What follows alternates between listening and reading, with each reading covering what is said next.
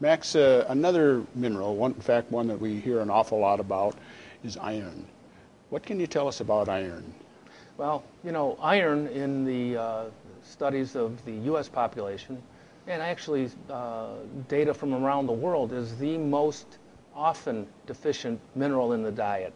Uh, the iron uh, has a very, very important effect. It's involved in all red cell production, production of hemoglobin, so it's important to the blood's ability to deliver oxygen to all of your body tissues. So it's a, a critical, critical mineral and one that uh, we really need to make sure that we're getting enough of.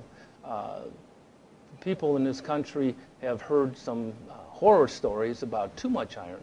And uh, I've talked to a number of uh, researchers about this. In particular, Dr. DiSilvestro at Ohio State, I had uh, him write an article about this fear. And what he has found in his clinical research is that really uh, it's very difficult to get the amount of iron that's going to be damaging to you or I unless we have this genetic disease called hemosiderosis. And in those people, they don't handle iron properly. And because of that, they get excessive iron stores and things such as that that can be very, very dangerous, uh, damage your liver and that. Uh, if you don't have the hemosiderosis in your family, you probably don't have to be fearful of that. But luckily today, if you really were worried about it, they have blood tests that will tell you whether you have this problem or not. And if you're really concerned, uh, go talk to your doctor. There are people, uh, women especially, who have some higher needs for, for iron.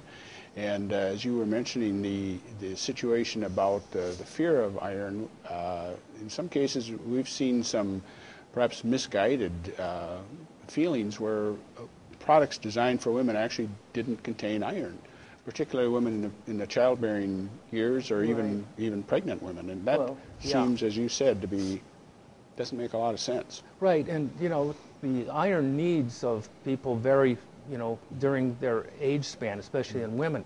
Of course, any children of uh, rapid growth stages need iron. It's a critical need. Uh, having anemia when you're newborn and things such as that can have a major impact on your development, very, very huge impact for the rest of your life mm-hmm. uh, because it's important to CNS development, things such as that. Uh, and if you don't have proper neurological development early on, you really, really can develop some problems and not have the uh, learning potential that you should have and things such as that. So child, children, uh, people that are growing uh, should be uh, getting enough iron. Uh, certainly women who are of childbearing age, who have, you know, of course, menstrual flow and things such as this, uh, will lose and turn over more iron. So they really should make sure that they're getting enough iron. Women, of course, during pregnancy and lactation, breastfeeding, uh, need to be getting enough uh, iron as well. Those people in particular really, uh, for the most part, unless they truly have this hemosiderosis uh, problem, uh, should really consider taking an iron supplement and take a nice modest dose of iron every day. Uh, taking 10 to 15 milligrams of iron during those stages of the woman's life is certainly a, a decent recommendation and a safe one.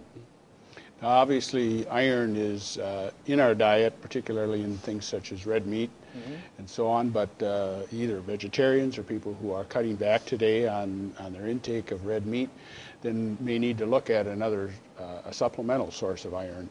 Uh, there are a lot of different sources out there, but can you speak a little bit about that? And of course, sure. the chelated iron sure. as well. Well, you know, uh, as I mentioned earlier, iron is one of the biggest uh, percentage uh, deficiencies in terms of the populace that is uh, deficient. Uh, typical iron salts like ferrous sulfate are not as well absorbed as the iron you'd have in meat. And what we found is that the iron in meat is naturally chelated in the meat. And the iron in meat is very, very well absorbed, much better absorbed than the iron that you would get in something like a vegetable like spinach, which has a very low bioavailability or poor absorption.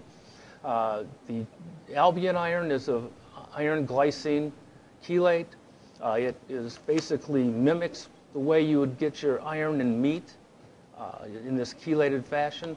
and uh, the absorption is therefore uh, better, like it would be from meat, from cow or pork or chicken. Uh, so the chelated form is the, the best form to go in terms of supplementation, and it just so happens that it mimics the way we have the iron present in our, our meat naturally. And again, uh, the final uh, question uh, with iron has to do with safety. The RDI is 18 milligrams per day for adults. Um, beyond that, are there are there issues or concerns if you were to take more than that? Well, there, there could be. But truthfully, if you're taking uh, the chelated form that Albion produces, the danger is really, really reduced because what you find, and we've done clinical studies on this when we were obtaining our uh, generally regarded as safe uh, rating of Ferrochel, uh, which is the trade name for this iron glycine chelate, uh, that the better your body's balance of iron. In other words, the more your hemoglobin and uh, hematocrit levels are, and your storage forms of iron are, the lower the amount of the iron as a chelate will be absorbed. It's kind of a natural protective mechanism. But if you take uh, inorganic forms, you can run into trouble, more so than you would with the chelate. Uh, they don't like people to take much more than 30 milligrams a day without a doctor prescription. Okay, thank you, Max.